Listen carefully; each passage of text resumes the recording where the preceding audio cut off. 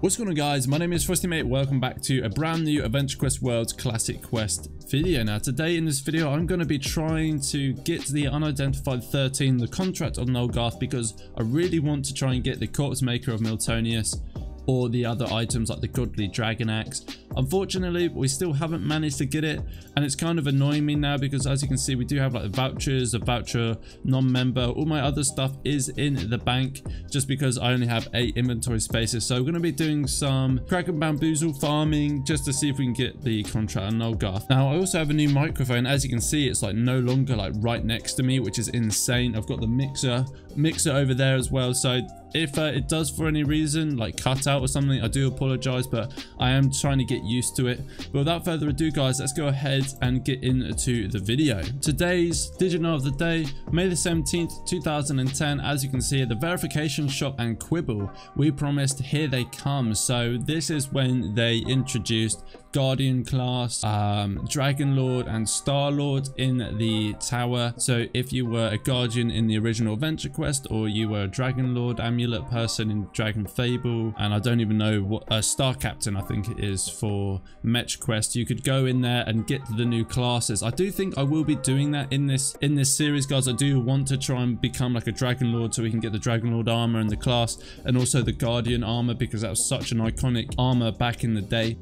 All right, there we go. We're pretty much ready to go now. So what I'm going to do, guys, I'm just going to do the Crag and Bamboozle until I literally get an item drop because otherwise I think this video is going to be a long ass time. So, okay, let's go ahead and do this, guys. I'll talk to you guys hopefully soon when I can get the unidentified 13 or if I get any other decent items. So just bear me two moments whilst I try and do this and let's go. Yo, that's what I'm talking about, guys. It's finally dropped, man. Unidentified 13, that's the exact thing that we need to try and go ahead and get ourselves the Corpse Maker of Nulgath there's three. There's the the D-Dog Serpent Blade. That's it, man. The D-Dog Serpent Blade, the Godly Dragon Axe, and also the one and only Corpse Maker Miltonius. Now, I can't exactly remember how to actually do this quest. I think it's from the Sword of Nulgath. So, I think if I go to Yulgar 9889, there may be somebody with the Sword of Nulgath. And there is. Perfect. Okay, so if I go onto here,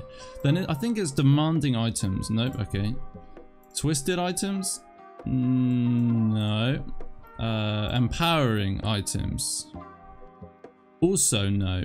Nulgath is kind. The Leery contract. This is what it is. So, guys, here we go. Finally, dude. I've been wanting to do this quest on this account for ages.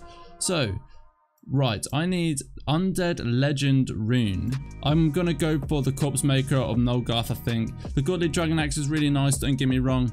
But um, the Corpse Maker, yeah, we're gonna go for that for sure. So, I need an Undead Legend Rune.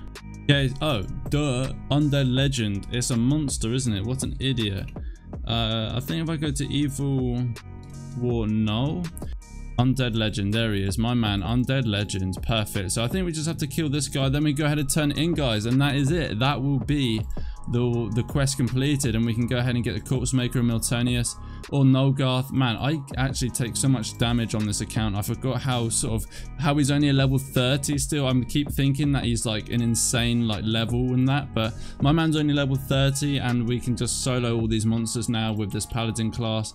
Um, I'm hitting like an absolute train as well, which is really good to see. Okay, this is almost defeated now. I, I, it's really annoying, you know, when you use an Area of Effect class and you see it hit like 3000 on the enemy that you don't want it to hit on.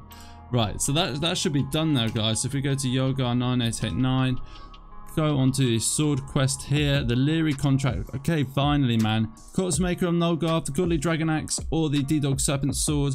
I'm going to have to go with the Corpse Maker of Miltonius. It's just such a nice weapon. Let's turn this in. Yo, nice. You actually get like 100k gold for doing that as well. So as you can see, we're almost at the 1 million mark, which is crazy. But here it is, guys. The Corpse Maker of Miltonius.